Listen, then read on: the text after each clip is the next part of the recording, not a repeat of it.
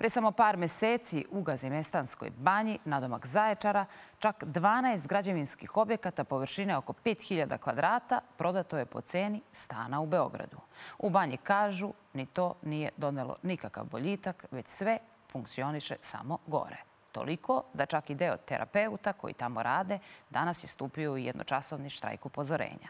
Da li je istina da su poslednju platu radnici primili tek za mesec april, da im zdravstveno i socijalno osiguranje nije uplaćeno, da je račun specijalne bolnice za rehabilitaciju zbog dugovanja za vodu u milionskoj blokadi i hoće li uz pomoć države ipak uspeti da se rehabilituju, više u priči Katarine Golubović. Punih osam dana račun specijalne bolnice za rehabilitaciju u Gamzigradskoj banji u konstantnoj je blokadi. Zbog kako nezvanično saznajemo više milijonskog duga za vodu prema Zaječarskom vodovodu. Funkcioniše li banja otežano, pitali smo posetioce, koji u uslovima smeštaja i hrane nisu imali ni jednu reč hvale. Ja sam ovde pet dana. Ja ne vidim da neko dođe da očisti to kako se čisti. Prođe se nekog i doviđenja. Ja sam prošla sve banje u Srbiji. Ovo je kad je to pa videla. Ste prvi put ovde? Prvi put, ali evo treći mjesec od kada sam ovde, od šloga. Kako ste zadovoljni sa hranom, sa ostalim uslugama? Nikako, sine, nikako. Sa svih strana voda šiklja. Na WC šolju ne smeš da sedneš, u kadu ne smeš da uđeš, dole noge da nemaš neke natikače papuče, ne smeš da stojiš. A kreveti Ja sam morala stavim jastuk da dignem kičmu jer sam bila legla, Bože me sačuvaj, koji skrivljena pečurka.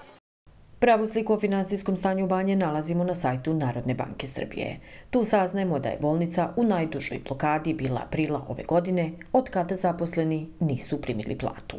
Želim da imam platu, želim da imam zdravstveno osiguranje, želim da imam penzijno i invalidsko osiguranje i sve ostalo. Ja to nemam.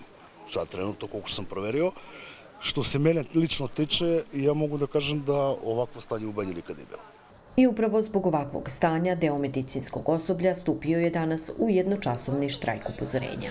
Pred kamere nisu hteli jer su predstavnici sindikata u pregovoru sa menadžmentom, koji tvrdi da će problem biti rešen. Sat vremena pre štrajka, ovaj, ja sam u Beogradu, taj problem je pod hitnim rešen.